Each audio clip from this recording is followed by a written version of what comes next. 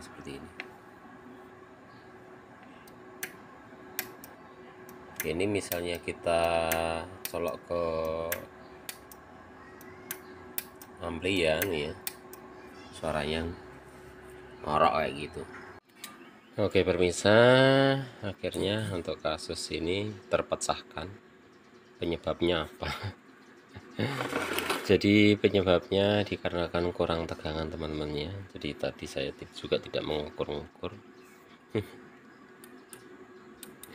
Karena di sini saya menggunakan nah ini, ini kabelnya kita urut di sini.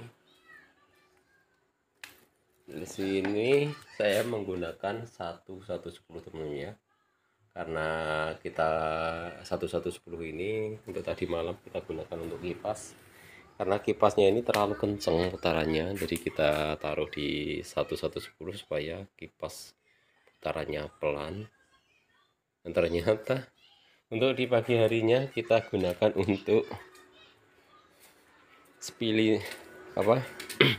Spiliter balancer ternyata kalau tegangannya kurang dia nggak mau on ya karena dia semuanya menggunakan IC jadi dia tidak bisa on ya.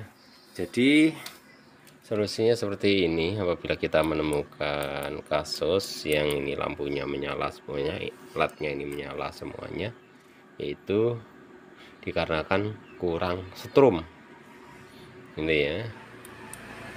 Dan pernah saya gunakan di lapangan mungkin di lapangan tersebut kurang strom jadi dia tidak bisa dipakai apabila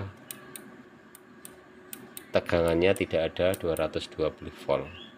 Itu dia solusinya. Jadi sudah terpecahkan.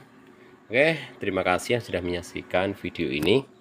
Dan mudah-mudahan video ini bermanfaat buat rekan-rekan semuanya. Jadi kita tambah pengalaman baru. Terima kasih.